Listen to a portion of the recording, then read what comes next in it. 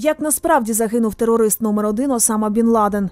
Офіційна версія повітряний рейд американських морських котиків 2011 року, за яким наживо з Білого Дому спостерігав Барак Обама та його оточення. Тоді цю спецоперацію називали найбільшим успіхом зовнішньої політики американського президента. Однак цю версію поставили під сумнів стаття розслідування журналіста Сеймура Герша. У ній йдеться про те, що операцію виконали спільно спецслужби США та Пакистану, а славу за це отримав лише Вашингтон. Сеймур Герш, лауреат Пуліцерівської премії, відомий своїми журналістськими розслідуваннями, каже, що Барак Обама збрехав про спецоперацію, а Бін Ладен насправді з 2006 року був в'язнем у Пакистані, де його і убили.